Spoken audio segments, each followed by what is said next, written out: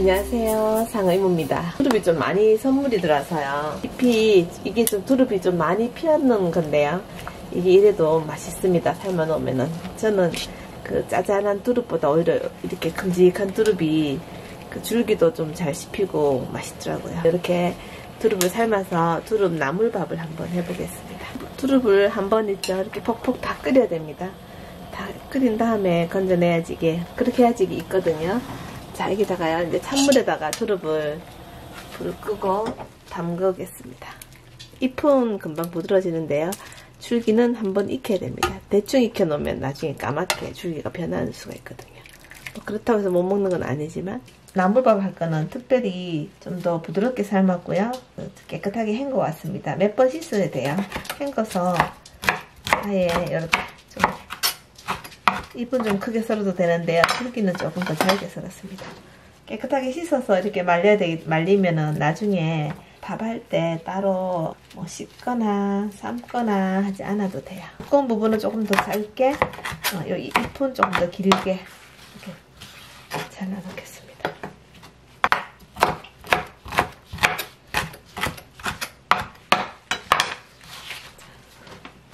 나물밥 할 거는요 좀 잘게 썰어서 말려 보겠습니다. 자 이렇게 해서 온도는 한 60도 온도 하면 될 것 같아요. 8시간 10시간 이렇게 말려야 됩니다. 이걸 말려 오겠습니다. 이거 한 8시간 정도는 말린 것 같습니다. 이렇게 중간에 도톰한 부분이 빨리 안 말랐거든요. 근데 이걸 이제 바싹 말렸습니다. 말리면은 깨끗한 봉지에 봉지나 아니면 이렇게 통 밀폐력 좋은 통에다가 담아 놓으면 됩니다. 저는 여기다가 여기 깨끗한 봉지에다가 담아 놓겠습니다. 이렇게 담아서 놓고요. 또, 또 이걸 가지고 밥을 한번 해보겠습니다. 두릅밥을 한번 해보겠습니다. 말린 두릅을요. 씻은 쌀에다가 말린 두릅을 넣고요. 자, 이렇게 잎을 물에다가 이렇게 좀 적셔줍니다. 이게 충분히 익혀서 이제 말린 거는 이렇게 끓여도 빨리 잘 익는답니다. 자, 이거는 이제 멸치와 새우와 그 북어를 가른 천연 조미료인데요. 이게 없으면은 그냥 멸치를 조금 부셔서 넣어주셔도 됩니다. 제가 이걸 그냥 이렇게 밥을 해도 되는데요. 그냥 된장 따로 안 끓이고 바로 비벼 먹을 수 있게 그냥 바로 이렇게 해서 자 여기다가 된장 한 스푼 넣고요. 음, 이렇게 해서 바로 밥을 한번 해보겠습니다. 저는 여기 일반 밥솥인데요. 압력밥솥에 하셔도 돼요. 상관없습니다. 자, 치사 눌러 놓겠습니다.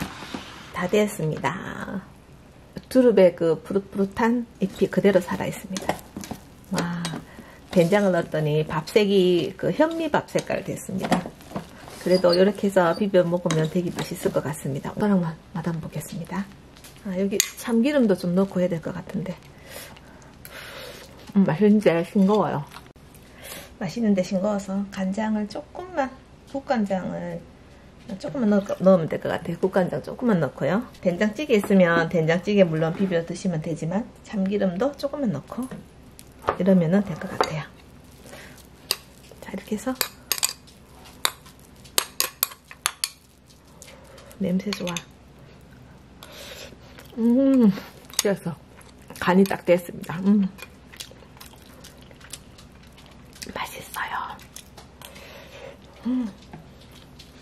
두릅을 따로 반찬하지 않고요. 바로 두릅 밥을 해서 드시면 두릅과 밥과 반찬이 한꺼번에 해결됐습니다. 음.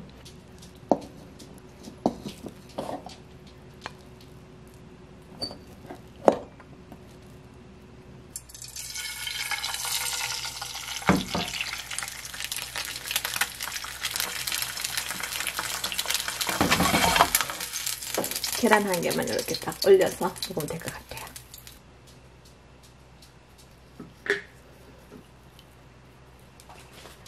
자 이렇게 하면 비벼서 드시면 아주 맛있는 두릅